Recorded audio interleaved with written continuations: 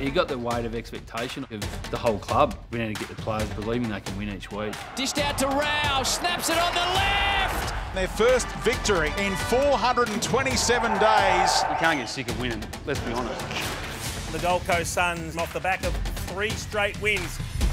What's happened to Rowell? We win this, boys. You're in the eight. I reckon we're going to get one team kissing the season goodbye. Don't look stunned. Show a bit of fucking fight. Daisy, go! Go!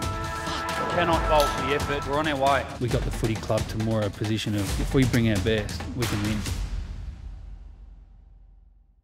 Is that why?